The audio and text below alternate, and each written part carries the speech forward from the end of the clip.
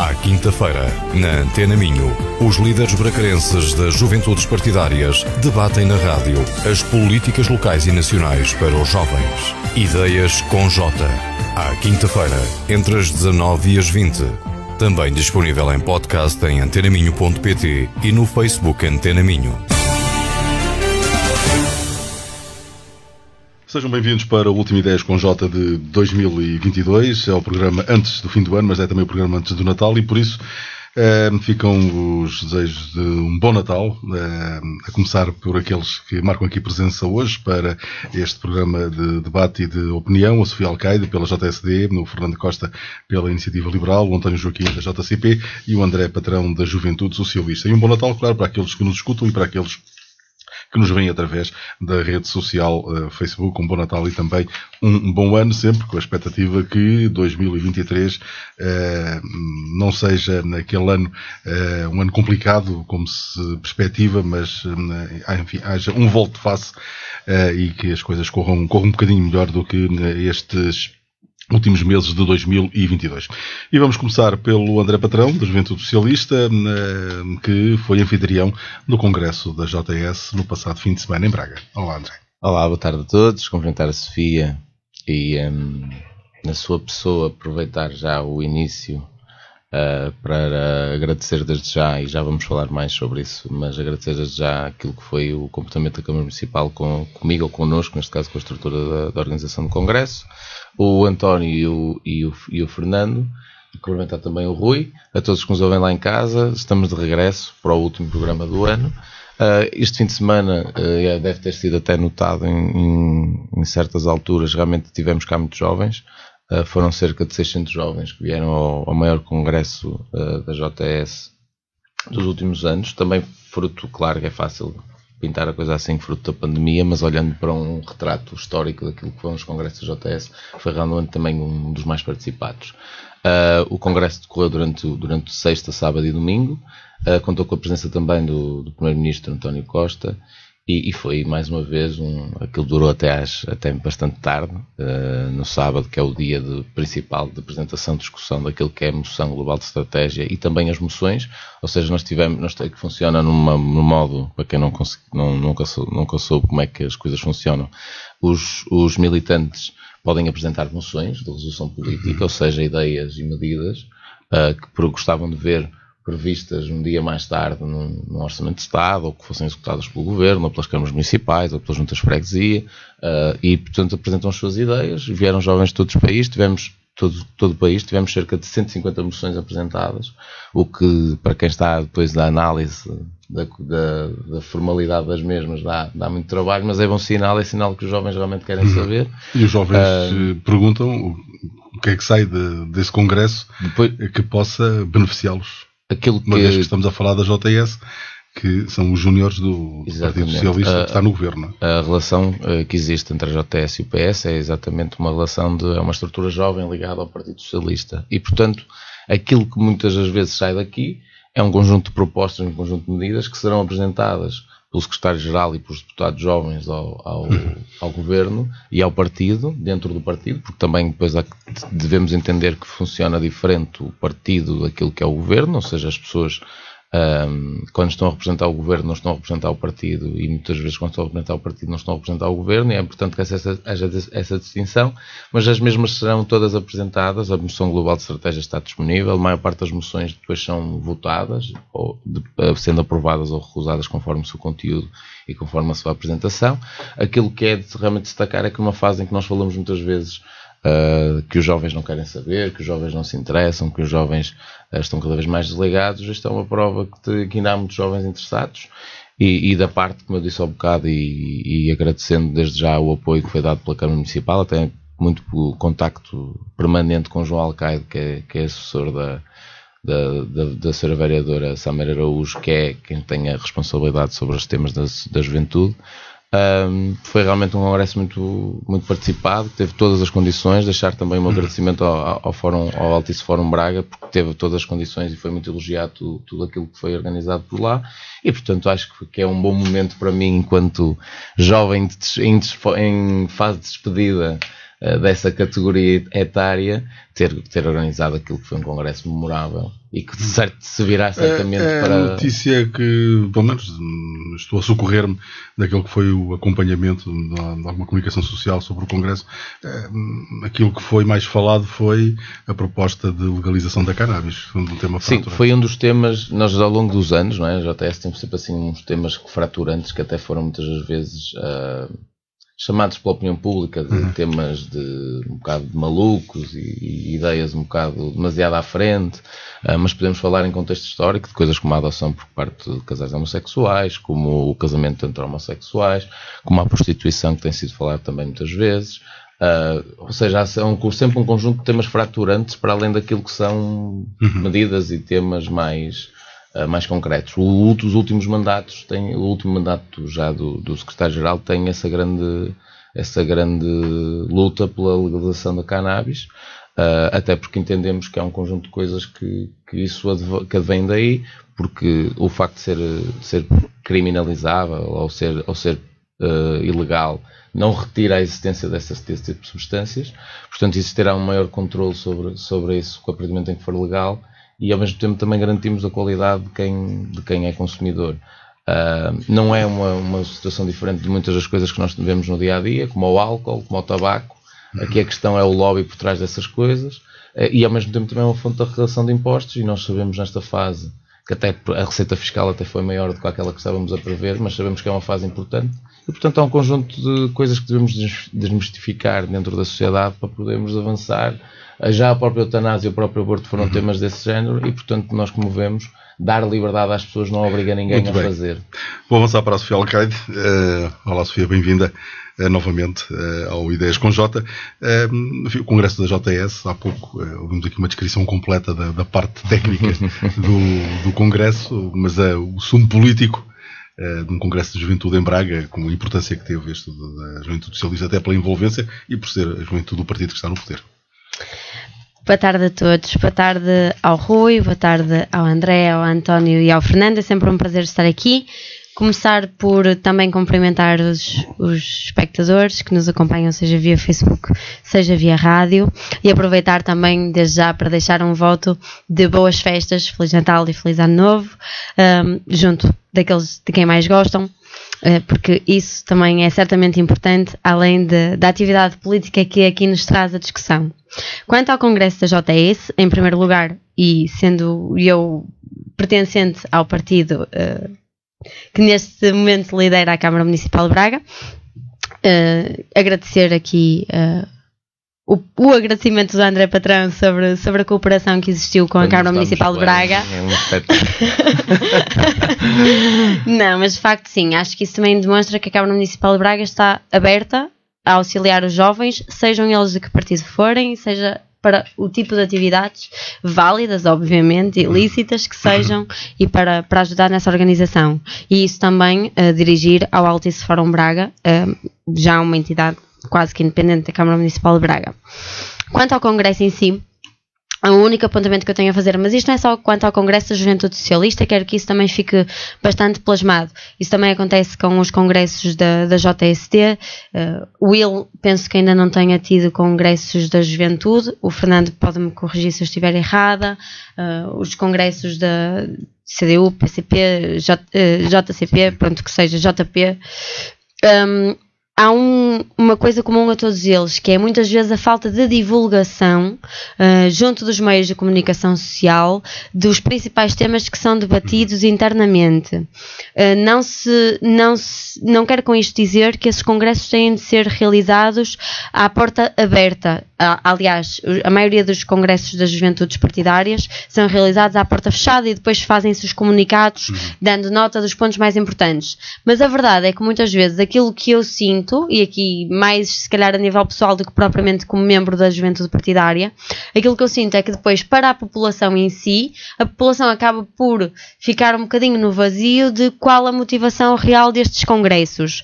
E por isso, esta nota fica aqui para todos nós, um, de, de, diferentes juventudes partidárias, de que seria útil, eh, se calhar, divulgar um bocadinho mais quais são os pontos de discussão primordiais nesses congressos e que ideias partiram dos próprios jovens para depois apresentarem no seio dos seus partidos e, quem sabe, Assembleia da República, Assembleias Municipais, o que seja, uh, os, os fóruns mais adequados para, para o efeito. Um, e por isso dar essa nota, porque de facto as notícias quanto ao conteúdo do Congresso propriamente dito, fora a eleição ou reeleição do secretário-geral da Juventude Socialista, uh, Miguel Costa Matos, fora isso não se conhece grande suma. Por exemplo, eu, por exemplo, desconhecia que a legalização da cannabis tinha sido um, novamente um dos temas mais centrais. Um, pronto. E depois só, só referir que aqui um, mas isto é já quase um comentário de provocação aqui ao Ah, André chega, Patrão, de que quanto à legalização da cannabis, hum, é engraçado que um dos pontos apontados pelo Partido Socialista é, mais uma vez, a receita fiscal, e isso vai claramente ao encontro daquilo a que assistimos, que estamos perante a carga, a carga fiscal maior de sempre, e que o Partido Socialista tanto se regozija da redução eh, brutal do déficit, mas isso é feito à custa de todos nós, pela extraordinária receita fiscal com que o Partido Socialista não contava, mas que também não fez questão de devolver aos portugueses. Muito bem, António Joaquim, Ora, bem-vindo também. ah, boa noite, obrigado. Desde já também cumprimentar todos aqui presentes e todos aqueles que nos estão a ouvir. Pá, e, também um voto, não é? Naturalmente, boas festas e do bom ano para toda a gente. Eh, Quanto ao Congresso da JS, tive a oportunidade de estar presente enquanto convidado não é, pela JCP eh, na sessão de encerramento de domingo, naturalmente. O, pronto, eh, eu acho que há coisas que marcam o Congresso. Posso começar pelo fim, não é? Por esta questão da cannabis. Acho que foi, foi interessante ver eh, se, pronto, na sessão de encerramento o discurso do pronto, reeleito eh, secretário-geral da Juventude Socialista, onde ele faz todo um quadro não é? Onde explica a situação política nacional, as dificuldades que a juventude sente, a precariedade, os baixos salários, pá, as dificuldades no ensino superior, eh, tudo isso, eh, e depois dá uma grande conclusão onde nós devemos realmente tirar vantagem desta maioria absoluta do nosso partido eh, para legalizar a cannabis. Eu acho que foi um bocado ao lado, não é? Acho que entre legalizar a cannabis ou acabar com a precariedade, eh, ter um acesso universal ou pelo menos acabar com todas as barreiras socioeconómicas para o ensino superior, acho que pronto, há aqui claramente uma escolha política, não é? Eh, mas pronto, acho que acho que é isso. acho que houve um grande foco na questão do salário médio, agora dos 1300 e tal euros para entrar para um. Acho que é. eh, para um emprego superior técnico, com essa designação, não tenho bem a certeza, mas pronto, nos jovens qualificados, ignorando ainda em alguma medida aqueles que são mais desfavorecidos. Eh, e pronto, e acho que foi algo que de certa forma marcou, marcou o Congresso. Quanto à questão da divulgação, eh, pá, não, eh, não imiscuindo nas questões do- das outras juventudes e nos outros partidos, mas a JCP e o PCP sempre tiveram e têm eh, aquilo que é a norma de uma ampla divulgação dentro das massas. Nós levamos a discussão do projeto de resolução política eh, para as escolas, para as universidades, para os locais de trabalho, para todos os locais onde estão os jovens. Pá, podem fazer as caras feias que quiserem. Isso é a realidade. Nós tivemos um congresso há dois anos atrás, onde razão, centenas de razão, Tânia, jovens tens que não pertencem à juventude comunista portuguesa participaram na sua discussão. Naturalmente, não nos dias no Congresso, mas todos os meses anteriores. O Congresso é construído disso mesmo, meses e meses de discussão. Falava-se O- propriamente dos momentos do Congresso. E não dos Foi momentos de isso discussão anteriores ou posteriores. Foi por isso que nós fizemos má cara, porque os congressos efetivamente também não são divulgados pelo PCP nem pela JCP. Não são divulgados. O conteúdo não. E eu referia-me ao conteúdo que na crítica. quer dizer é o conteúdo específico. É o conteúdo de quais foram as também- grandes ideias que É, saíram do mas aqui eu Congresso. também faço um reparo Acho nesse que sentido. há aqui que duas é, questões a ver. É que às vezes é a comunicação social que também não, Também não dá dá o a valor devido. O. PCP, a JCP não estão no governo, não estão nem nunca estiveram, não é? Isto, de certa forma, ter o primeiro-ministro. Estiveram agarrados do ao Partido Congresso, Socialista. Dá um bocado de ajuda a dar destaque ao próprio Congresso. Não estiveram no governo, mas estiveram Não, não lá muito próximos, muito Podem inventar o que quiserem, mas inclusive dentro da última legislatura o PSD votou eh, muitas vezes, mais vezes do que qualquer outro partido, ao lado do PS. Portanto, não vamos agora estar Há questões aqui... centrais que unem os E dois partidos. e até vou é? acrescentar, até há pouco tempo, Mas não sei se ainda colocava é só assim. mais uma questão. Para- Esta para- questão para do lobby do álcool e do sim. tabaco é interessante. Pá, quase brincando que não há um lobby da cannabis, não é? E até colocava só outra questão. É que nós estamos num momento particularmente difícil. Nós estamos num momento particularmente eh, complicado. Eh, em tal como eu disse, não procurando acabar com a precariedade, eh, tomar esta maior maioria absoluta como oportunidade de acabar com as barreiras socioeconómicas para o acesso ao ensino superior. Não, nós procuramos abrir portas a uma maior aliena- alienação das camadas jovens, não é? Isto é quase como nós procurarmos ser o IVA do, eh, do álcool, numa altura em que os jovens sentem muitas mais dificuldades, em que a população portuguesa sente muito mais dificuldade. Acho que não é, eh, sem dúvida, a prioridade do momento. Muito bem. Fernando Costa, da Iniciativa Liberal.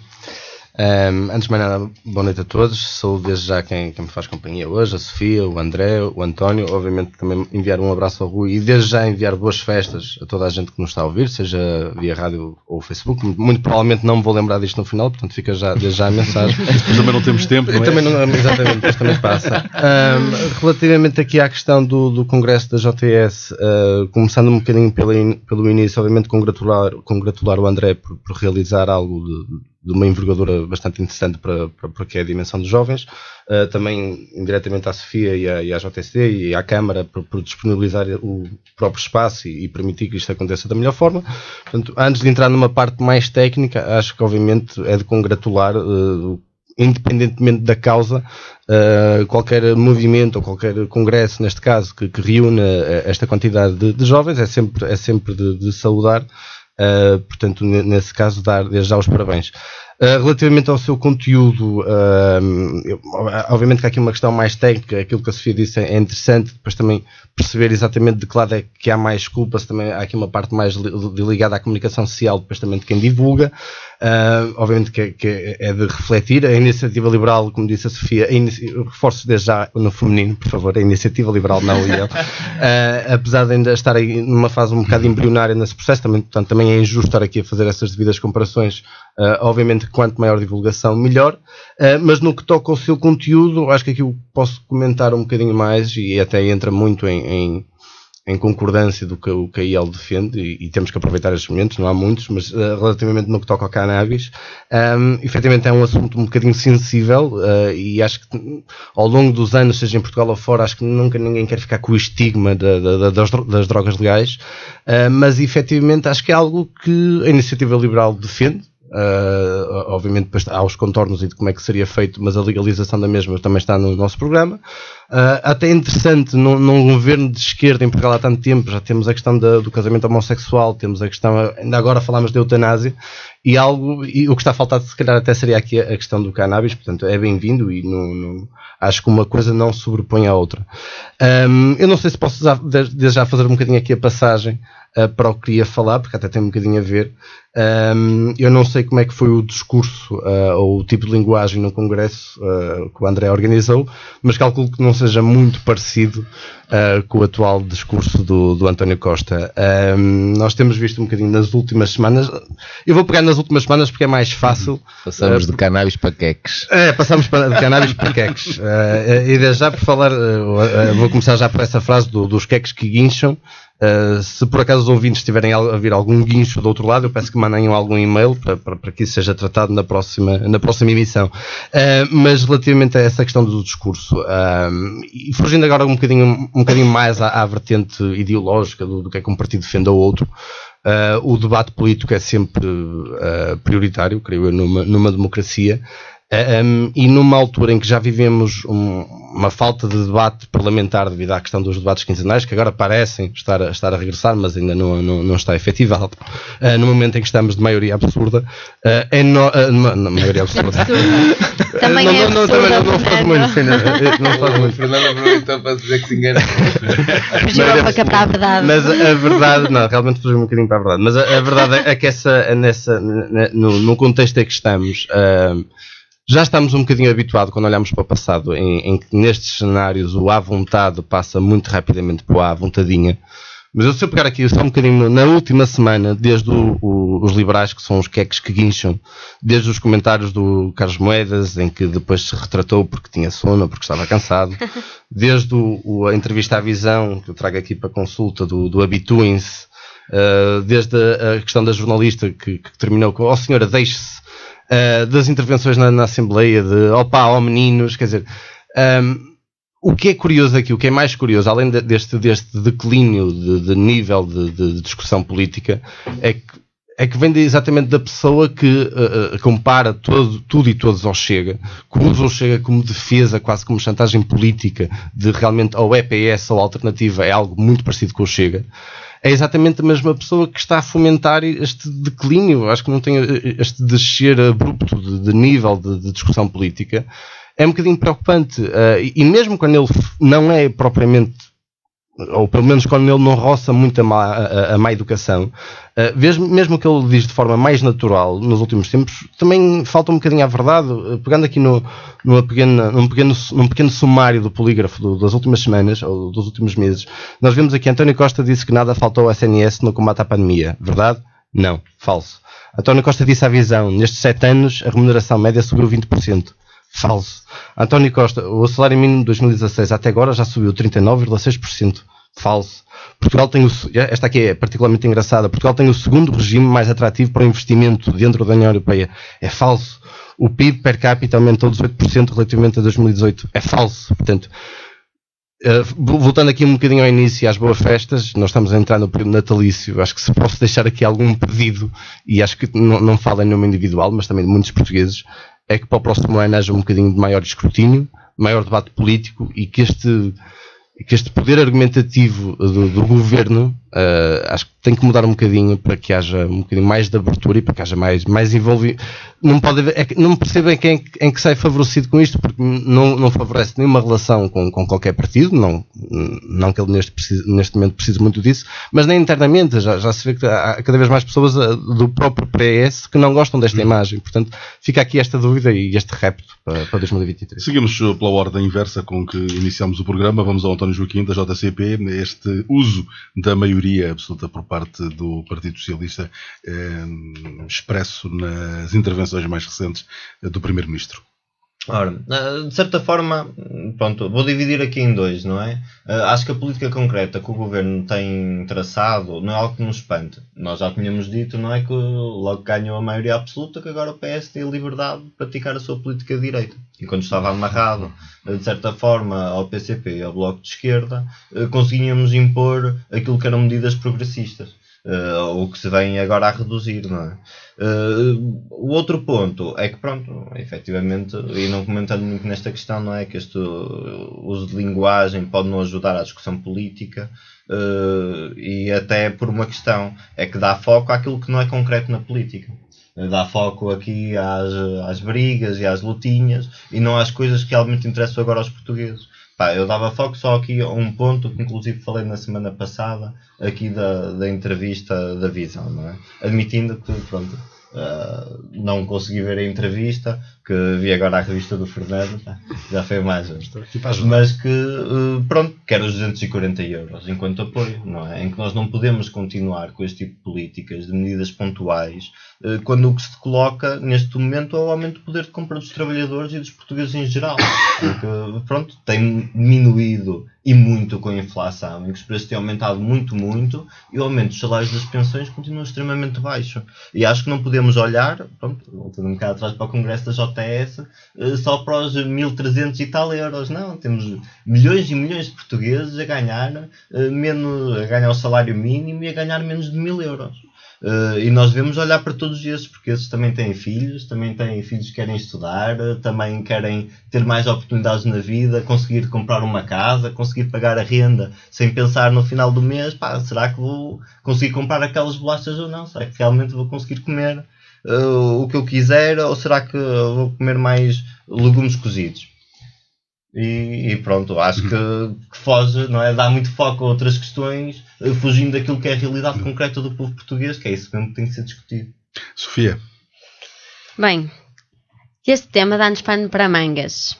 Mas a ouvir falar agora da entrevista de António Costa, e uh, da sua postura face aos restantes partidos com assento na Assembleia da República e também face àqueles que perderam o seu assento na Assembleia da República, porque também já ouvimos António Costa com o seu tom jocoso uh, comentar ou uh, um, falar mal, vamos dizer assim, uh, da perda do, do, CDS dos seus lugares na, Assembleia da República. A verdade é que António Costa maltrata todos os partidos da oposição, sejam eles de esquerda, de centro, de direita, ou da extrema-direita, ou da extrema-esquerda. Um, e aquilo que António Costa tem vindo a fazer, ou melhor, voltando aqui um bocadinho atrás no tempo, ainda o Fernando não estava aqui e também não estava aqui o, o António. Uh, no rescaldo das eleições legislativas, estive aqui eu e o André Patrão a fazer uma análise daquilo que poderíamos esperar desta maioria absoluta.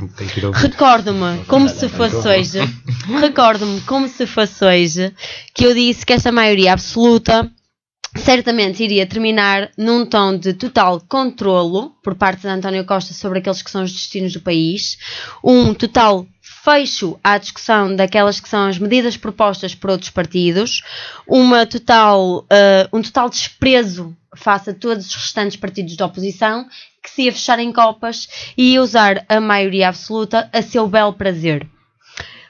O André, por seu turno à data, respondeu-me que não, que certamente António Costa e o Partido Socialista estariam sempre abertos à discussão e ao diálogo com os outros partidos. Entretanto, quase um ano passado, estamos nós aqui a comentar uma entrevista de António Costa, juntamente com uma série de outros seus relatos absolutamente infelizes quanto aos restantes partidos da oposição, em que ele os despreza, porque este é o verdadeiro termo. António Costa despreza todos os restantes partidos políticos. Utiliza a maioria absoluta apenas e só para seu controlo e para seu proveito, e aqui uh, deixo já uma, uma crítica. Nós temos aqui a, a revista em cima da mesa que o Fernando trouxe. E a própria postura da António Costa tem muito que se lhe diga na fotografia da capa da visão. Um, e isto faz-nos uh, levar que a maioria absoluta de facto foi uma forma da António Costa se promover e promover além portas. Porque também não podemos estar aqui a esquecer-nos que esta postura de António Costa também se deve ao facto de ele mesmo já se achar demais para este país e claramente estar à procura de um cargo na União Europeia. Que eu também me lembro ter referido isto após as eleições legislativas e do André ter dito que de todo António Costa estava absolutamente comprometido com aqueles que eram os destinos do país e só o país. E a verdade é que esta entrevista em específico à visão de António Costa sofreu críticas até de socialistas. E lembro-me já de imediato, de imediato da própria Ana Gomes, que chega a dizer que a fotografia de António Costa eh, faz lembrar o Marquês de Pombal, mas não sendo o Marquês de Pombal, porque efetivamente reformas são zero. E certamente ainda vamos ter tempo aqui de falar do relatório da OCDE e do ensino superior e da, e da, da questão das propinas. Porque reformas efetivamente são zero. E aí eu estou de acordo com o António. Porque António Costa não está aberto a reformas, António Costa não está aberto a discussão, o país não está num estado de estagnação. Aquilo que se prevê é que entre num estado de recessão.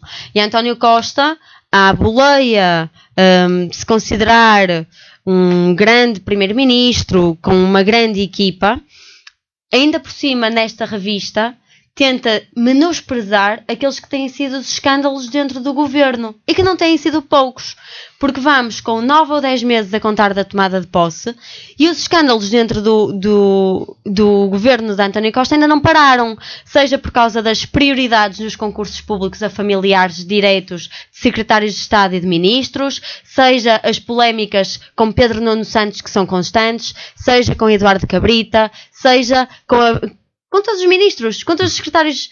Miguel Alves, o mais recente escândalo, que ainda por cima envolve aqui eventuais crimes de corrupção. Enfim. E António Costa menospreza.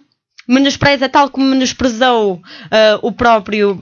Um, presidente da Câmara Municipal de Lisboa, em que considera que Carlos Moedas lhe devia ter contactado porque ele tinha a casa inundada, ao invés de Carlos Moedas andar a fazer o trabalho de terreno daqueles que efetivamente ficaram desfavorecidos e, que e ficaram sem, o, sem um teto. E António Costa, esta, esta entrevista é não mais senão o Estado do Governo, que é um total desgoverno bem, Sofia, e absolutamente centrado em António Costa. Não há espaço para mais ninguém neste país, a não ser para António Costa. Passar a palavra ao André Padrão e, e perguntando-lhe perguntando sim. se, eh, se a pose que há pouco a Sofia lembrou do António Costa fazer lembrar o Marquês de Pombal, se o nosso Primeiro-Ministro olha para a oposição como o Marquês olhava para os mas, muito bem, muito bem. É, eu, eu por acaso, eu pensei que quando, tendo em conta que tinha a intervenção do, do Fernando e do António, eu pensei, pronto, já tenho aqui pano para a manga, já vou ter que eh, mexer aqui e pôr aqui isto mais curtinho. Mas agora não vou ter que fazer mais porque a Sofia Vais fez ter, que duas. ser, vais ter que ser É, a Sofia vai, vai ter que ser mesmo muito poupado, que é assim que o governo tem sido, e portanto vamos continuar nessa loja. A arrecadar A os bolsos Sofia, dos a Sofia disse logo duas coisas completamente, três coisas completamente, e eu já vou voltar ao resto, que é Eduardo Cabrita, para considerar nestes nove meses. Correto. Como nós sabemos, Mas não prolongou faz o escândalo, Não sim, faz sim. sentido porque não foi nestes nove meses. Ainda hoje houve novidades no motorista. Ainda houve, exatamente. Miguel, eu e Dias passei ali na. Estão a fazer aquela obra na autostrada em Guimarães e, e eh, os- aquilo é um perigo. Eu não sei como é que depois que aconteceu, continuam-se a ter esse tipo. Os, os, os senhores a trabalhar mesmo na beira, é uma cena surreal.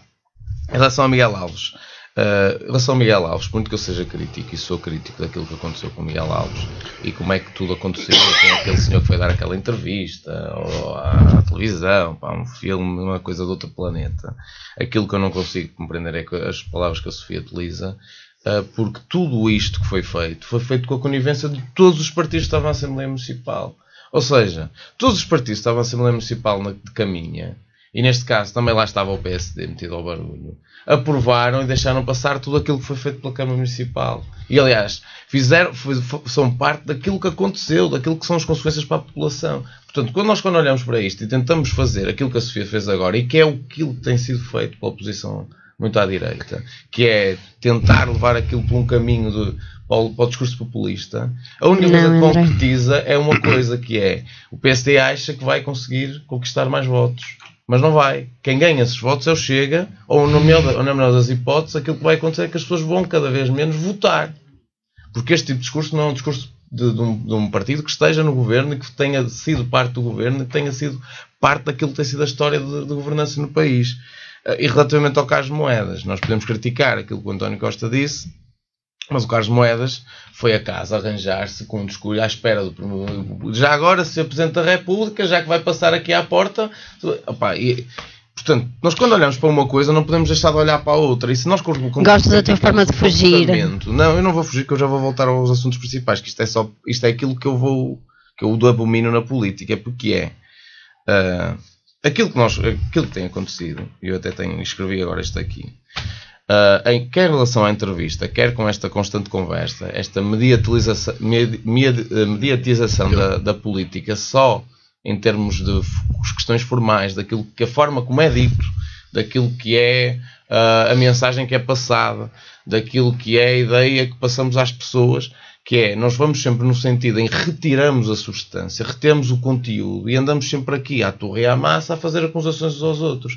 E isto realmente, se- semana após semana, nós vamos ao Twitter e depois está lá o tema, mas para a semana já não está. E nós vamos ao Facebook e anda tudo a falar do mesmo, mas para a semana já ninguém fala. Porquê? Porque isto não tem conteúdo nenhum. Ou seja, as pessoas falam daquilo enquanto é novidade, mas depois deixam de falar porque depois também se esgota. E, e se nós queremos realmente fazer a diferença, nós temos que começar a pensar ah, que as coisas não podem ser assim. O, o governo tem tido e tem excelentes resultados económicos, e- mas isso não, não interessa, é uma, uma discussão que não interessa. A- a- aquilo que discute-se à direita e que se devia discutir, eh, não se pode discutir muito à direita, e o António, há bocado, sem querer, mandou a farpa.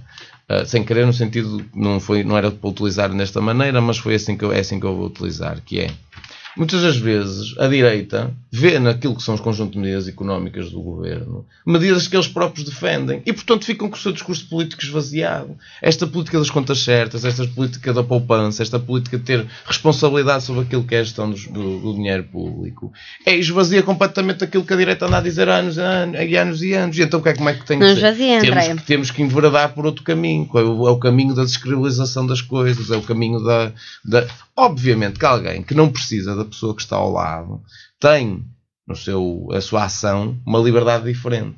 Essa liberdade não lhe retira o valor nem a obrigação de se perguntar da mesma o que é que as pessoas acham. E, portanto, eu aí serei sempre o maior crítico relativamente a isso.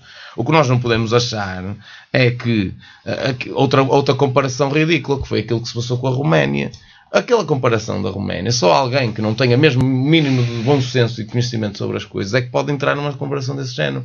A Roménia foi uma questão de dimensão geopolítica da União Europeia.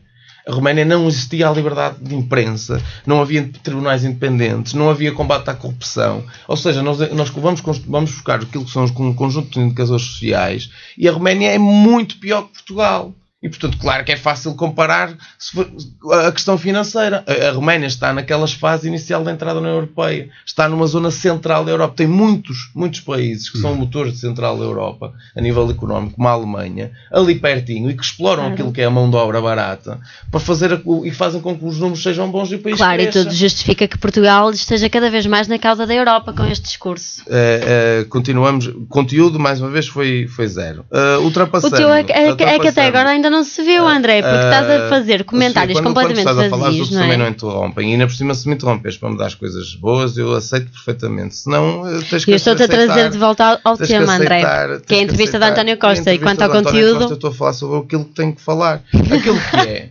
Aquilo que é, o, o Fernando disse uma coisa bem dita que eu tenho aqui fixada na cabeça, que é a questão da educação. A educação. Aquilo que eu condeno é realmente aqui houve uma falta de educação, não é? Um, um, uma, uma, uma, uma, falta de, até de atenção àquilo que deve ser o discurso político. O discurso político deve ter uma responsabilidade muito grande e aqui o Primeiro-Ministro não correspondeu. E aqui o Primeiro-Ministro não respondeu. Relativamente àquilo que é realmente a projeção da direita e a oposição da direita, uh, não, é nada todos, mais, não é nada mais do que, do que mais do mesmo. E só para finalizar, passando a palavra. É porque, é ainda temos dois temas para. Uh, para passando aqui só aqui ao, ao, António, porque o António também. E esse, e esse sim falou de conteúdo, coisas em específico, quando falou de da precariedade, dos salários, e portanto esse, esse, esse, esse, esse tema sim merece resposta o António Sem Querer acabou por, de certa forma, desvalorizar aquilo que seria o discurso do, do secretário-geral, porque fechou com a ideia da, da cannabis. Uh, o discurso teve uma série de outras coisas, Uh, a realidade é que quando nós pensamos numa ideia disruptiva, nós não podemos achar que só podemos olhar a uma coisa, ou seja, só podemos lutar pelos direitos uhum. dos jovens, por, por mais apoios, por melhor emprego, e ao mesmo tempo não podemos olhar para o, para o resto. Muito bem. Achei interessante que o foco Sim. foi esse. Fez um é, quadro é, todo para agora legalizar. É isto que é importante. Muito bem. António Joaquim, uh, Tens a bola, podes continuar com ela, porque hum, vamos falar agora. Mas tens como das propinas, das propinas uh, de acordo com o valor das propinas, de acordo com um relatório, um estudo da OCDE que diz que em Portugal as propinas no ensino superior deve ter por base critérios socioeconómicos, mas diz também que é preciso rever os critérios eh, que vigoram para a atribuição das bolsas. Exatamente. Portanto, nós vemos aqui um relatório também não tive a oportunidade de ler a fundo, não é? Uh, mas pronto, um relatório encomendado pelo governo uh, recomenda exatamente isso. Uh, a adotar um sistema de propinas por escalões conforme os rendimentos das famílias estudantes. E também, pronto, a readotar, ainda que eu não sei de forma precisa ao dia de hoje, de que forma a atribuição das bolsas. Ainda que isso seja algo uh, que a JCP e o PCP já têm vindo a defender há muito tempo, inclusive para este Orçamento de Estado. Uh, e que diga-se passagem que foi recusado. O, pronto, eu vejo aqui muitos problemas, não é? Eh, desde já, só dar um contexto histórico. Em 1991 são introduzidas as propinas, pá, com um bocado com a desculpa de melhorar as condições eh, nas universidades, eh, mas também na ação uhum. social escolar, para haver mais residências, mais cantinas, mais bolsas. As famílias passavam a dar um contributo, não é?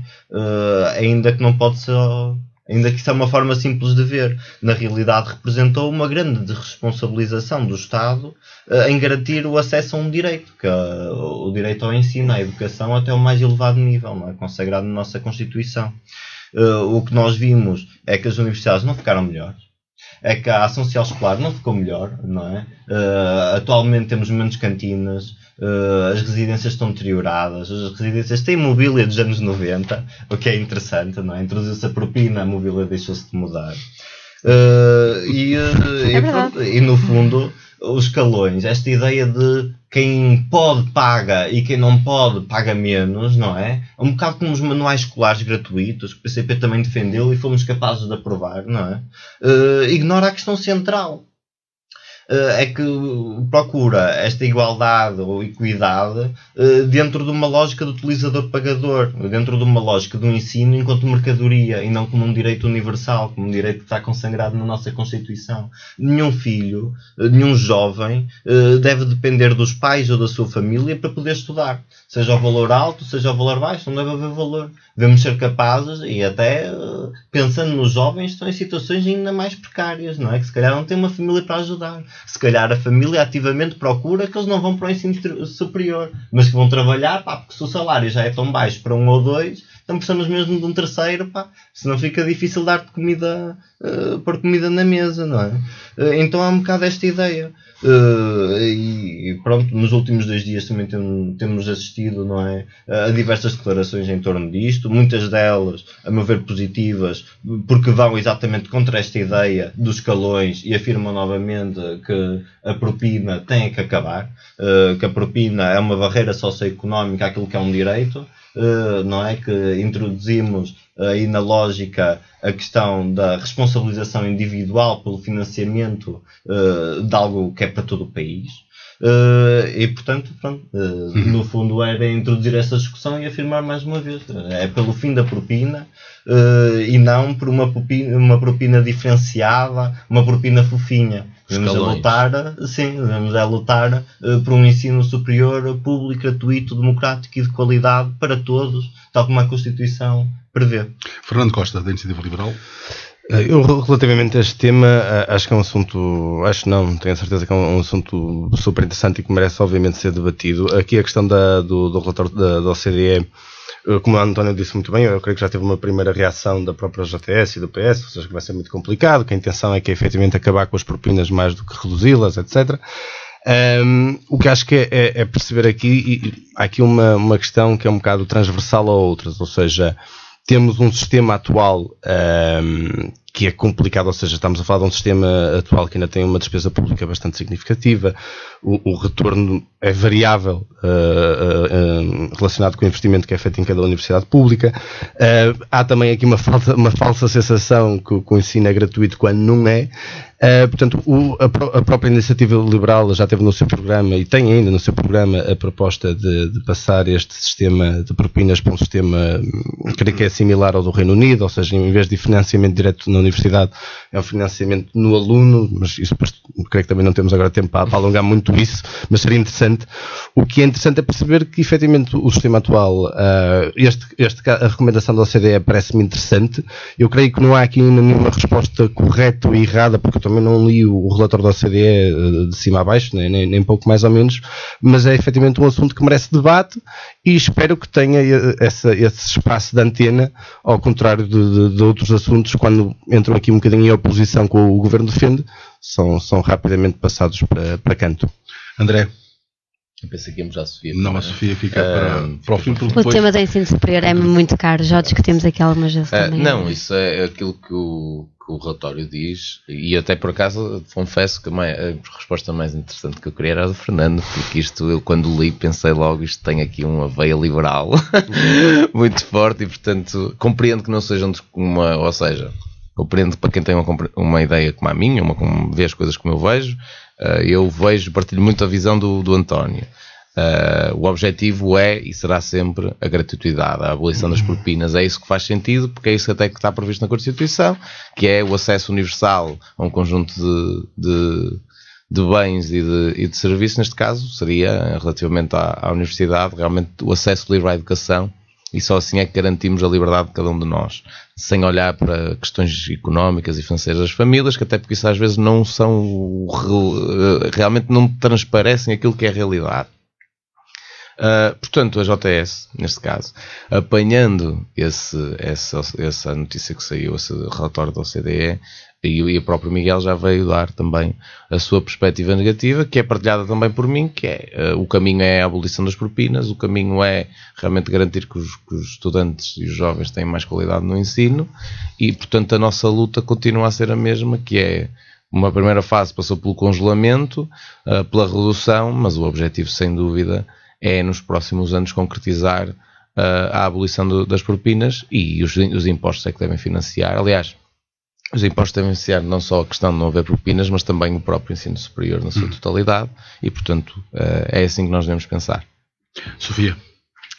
Bem, eh, eu tive a oportunidade de ler alguns pontos fulcrais do relatório da OCDE e, para início de conversa, dizer que, de facto, eh, eu, enquanto Juventude Social Democrata, também defendo a gratuitidade das propinas e do ensino na sua generalidade. Só que essa gratuitidade deve ser alcançada eh, com equilíbrio, quer do financiamento das instituições de ensino superior, quer do investimento público. E há algumas conclusões do relatório que são muito interessantes e que não se prendem só com uma análise daquele que é o contexto atual, mas sim, eventualmente, das últimas décadas no país. E, de facto, o relatório da OCDE faz um percurso daquele que foi o aumento das propinas, se não estou em erro, até o ano 2014, e daí para, para, para cá a sua redução gradual. E há uma conclusão que me saltou à vista penso que salta a qualquer pessoa, que não foi o facto de as, de as propinas terem reduzido e estando agora uh, nos 697 euros atuais, que levou a uma diminuição das dívidas dos estudantes relacionadas com as propinas. Ou seja, ainda que as propinas tenham diminuído, efetivamente as dívidas mantêm-se. E mantêm-se em semelhante proporção ao tempo em que elas estavam no teto máximo de 1060 euros. Mais coisa, menos coisa. E isso é uma conclusão muito interessante. Não, 1060 foi o máximo. Agora está nos 700. Nunca, não é? exatamente, 697 agora. 697. Uh, além disso, hum, há, outros- há outras conclusões muito importantes do relatório da, da OCDE. É que, primeiro, e ainda que o Estado uh, tenha feito uh, nos últimos 7, 8 anos, uh, tenha aumentado 15% do seu investimento uh, no ensino superior, entre principalmente 2017 e 2021, a verdade é que na média da OCDE, Portugal está abaixo da média daquele que é o seu investimento no ensino superior. E há outra conclusão muito interessante, é que existiu esta diminuição progressiva, só que isto também se assumiu como uma diminuição das receitas das instituições de ensino superior, o que nos leva àquela que já foi a minha discussão e do André por várias vezes, que é uma total asfixia das instituições do ensino superior. E, de facto, tem de ser repensado o modelo de financiamento das instituições de ensino superior, seja através do investimento público, seja através de receitas como as propinas, porque, de facto, nós também queremos alcançar a gratuitidade das propinas, mas para al- alcançarmos esse objetivo, nós não podemos colocar as instituições de ensino superior no ponto em que elas estão agora, que é chegam ao final do mês e muitas vezes praticamente não têm dinheiro de pagar sequer aos seus funcionários. Porquê? Porque a redução das propinas de 2017 para cá, principalmente, não foi acompanhado por um verdadeiro reforço do financiamento das instituições de ensino superior. Também se faz a menção da- revisão da atribuição de bolsas. Também já disse várias vezes aqui de que o regulamento de atribuição de bolsas tem de ser revisto de várias formas, porque um dos maiores flagelos do ensino superior atualmente prende-se com a atribuição de bolsas a estudantes de mestrado e de doutoramento é pautado pela propina de licenciatura. A propina de licenciatura é 697 euros o, teto máximo, mas as propinas de mestrados são livremente fixadas. Temos mestrados a custar 5 mil euros anuais em instituições públicas. E a esses alunos com carências que pretendem continuar os seus estudos e de facto ter um futuro ou um mínimo futuro digno, veem a sua bolsa atribuída ser no valor de 697. A maioria dos, dos mestrados na Universidade do Minho situa-se, as suas propinas situam-se entre os 1.500 e 1.750 euros. 2.000 euros no Porto. Quer dizer, não, o regulamento de atribuição de bolsas está completamente desfasado daquela que é a realidade. E por isso, sim, de momento e face àquela que é a possibilidade de investimento do Estado, ou que o Estado está, de facto, interessado em investir no ensino superior, e àquela que é a realidade das instituições de ensino superior, não me parece despropositado este relatório da OCDE. Muito bem.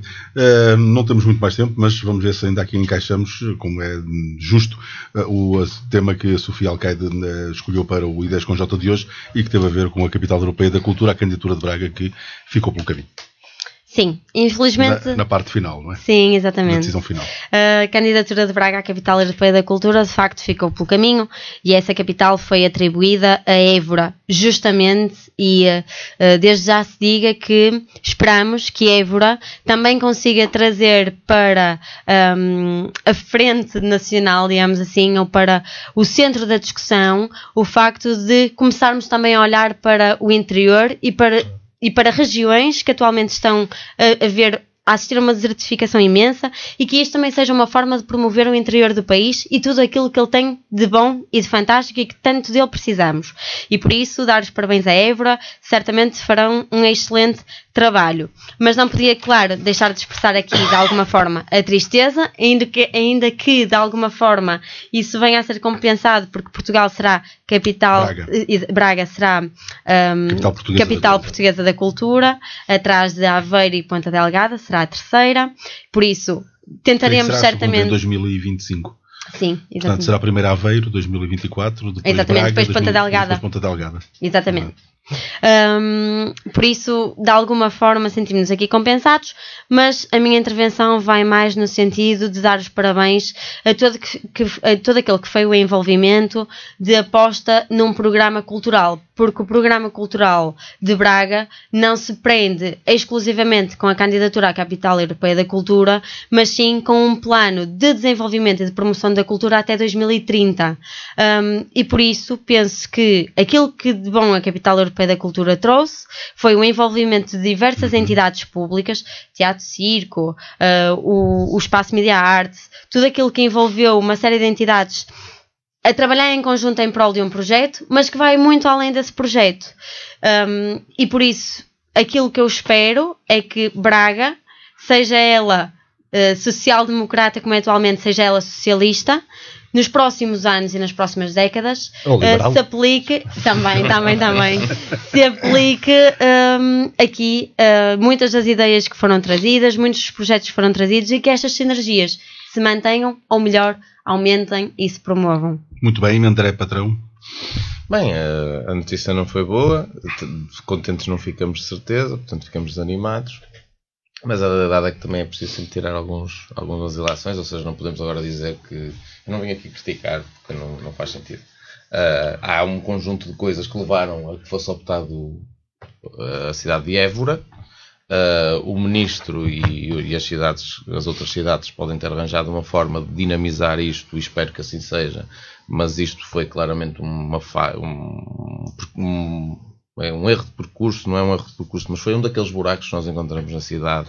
Acabamos de ver a Câmara passar por lá, eh, porque há um conjunto de coisas que levaram que, que Évora fosse escolhida e que, e que desde logo há um que se destaca imenso, que é o facto de nunca uh, nós encontrarmos na cidade ter sido a prioridade a reabilitação daquilo que são os edifícios históricos e, por exemplo, dou outro exemplo, a conversão de, de uma antiga fábrica numa escola de artes Uh, são logo dois bons exemplos de que aquilo que ao contrário que aconteceu em Braga. Em Braga promoveu-se a cultura do Alcatrão, a cultura do, uh, do da construção de. Que estranho de isto vir do André. Centros comerciais, de, de, aliás, pequenas lojas de um grupo económico espalhadas pela, pela cidade inteira. E Ninguém diria. teve alguma relevância uh, certeza na hora de escolher. E portanto, ou seja, não, não vamos aqui também atirar areia para os olhos de ninguém. É preciso perceber o que é que, o que, é que, o que, é que aconteceu para, para Évora ser ah, beneficiada em relação a outra cidade. Também seria a partida muito difícil o sonho, uh, porque no espaço de pouco tempo estaríamos numa, numa, num no aspecto de muito pequeno território, três capitais europeias da cultura, portanto aí seria muito difícil, mas a verdade é que foi investido muito dinheiro de todos os bracarenses, todos os portugueses neste, nesta candidatura e portanto esperamos, que é isso que acima de tudo eu quero dizer, esperamos que realmente até 2030, como disse a Sofia, seja utilizado uh, para a cultura, para as pessoas que fazem cultura, para as pessoas que se dedicam a isto, porque realmente na sua maioria das vezes são, são, estão no fim da fila. Quando chega a vez delas, elas já não têm grande coisa para, para lhes darem. Fernando Costa. Uh, sim, de uma, uma, forma muito sucinta, não há, não há muito mais a dizer. Uh, uh, obviamente que é uma pena que não tínhamos sido, sido os finalistas, ou pelo menos ter sido escolhido, a cidade escolhida. não ficamos de mãos a abanar, somos uma das três capitais portuguesas da, da cultura. vamos ser claramente, de certeza, muito bem representados e que efetivamente o interior, e neste caso o Alentejo, esteja aqui na porta da frente para o desenvolvimento da cultura em Portugal e concentrar energias agora para a nossa candidatura da, da democracia, que é em janeiro. Portanto, Sim, ainda, ainda temos aqui algo para, para nos concentrar. Da democracia. Uh, António Joaquim. Ora, pronto, eu acho que isto de certa forma também já foi discutido, não é? Mas novamente valorizar tudo aquilo, todas estas candidaturas pá, uh, e também valorizar bastante, não é? Uh, a candidatura de Évora, que não possa desligar do trabalho realizado pela CDU durante décadas uh, e da própria concepção que a CDU tem uh, da cultura enquanto uma componente central da democracia. Uh, acho que pronto, tocando aqui só na parte da cultura muito rapidinho, acho que tem sido escurada a promoção da cultura a nível central, não é? E o que nós vemos ao longo destes anos todos é que tem-se apoiado muito no poder local democrático. Uh, e isso ter, tem várias desvantagens. É muito positivo o poder local democrático dar muito apoio à cultura, mas por outro lado precisamos de um maior apoio da, do, Estado uh, do, Estado Central, exatamente, nomeadamente 1% do orçamento do Estado para a cultura, como assim o apoio para as associações juvenis e para o ensino artístico. E dava só uma nota muito rápida, agora para finalizar, quanto à questão de que o interior de certa forma também é descurado, não é? A malta às vezes esquece, pronto, e que vemos realmente um problema de coesão territorial no território. Uh, apontava para aí Uh, pronto, não apenas estas candidaturas, mas a grande necessidade de realizar a regionalização, que já está há muitos anos, há décadas, à espera que seja realizada. Ou discutida, sequer. E, uh, ou discutida tem sido, ainda que aos pouquinhos, não é? Pois, uh, realmente é necessário avançar para isso, vemos que, que algo, que algo agora, É preciso discutir essa formação. Agora que falaste, por exemplo, lembro no domingo, até sobre a regionalização se falou, porque realmente é uma luta da JS para que seja discutido, que, que encontra às vezes alguma resistência naquilo que são os séniores do PS, que veem as coisas é. de outra maneira, mas que nós não deixamos de ter. Não te esqueças de dar a mensagem de bom Natal, que é para depois eu deixar a minha. Deu logo no início. Pronto, eu deixo já a mim. Deixo já. Deixo, não, eu sou o mais fino, não é? Que as pessoas vão ouvir até ao fim, que nos ouvem sempre tão atentamente. E vão pensar, que já desligaram a mensagem de Natal, a mensagem de Natal, André Patrão, a todos vocês. Não, agora falando a sério, agradecer, no modo geral, até acho que posso usar aquilo que eu não gosto de usar, mas vou usar que é a palavra por todos, agradecer também ao, ao Correio por ter sempre esta atenção, desejar um bom Natal a todos os que nos ouvem e esperamos que continuem a ouvir-nos cada vez mais a passar a mensagem, porque nós aqui chateamos-nos e discutimos e debatemos, mas é isto que é importante fazer. É, subscrevo. Muito bem, agradecer a vossa presença na, da Sofia Alcaide, do Fernando Costa, do António Joaquim e do André Patrão e voltamos então no próximo ano, eh, repetindo eh, aquela frase do início, ou aquela ideia do início de boas festas, eh, um bom Natal e um bom ano novo. À quinta-feira, na Antena Minho, os líderes bracarenses das juventudes partidárias debatem na rádio as políticas locais e nacionais para os jovens. Ideias com J. À quinta-feira, entre as 19 e as 20. Também disponível em podcast em antenaminho.pt e no Facebook Antena Minho.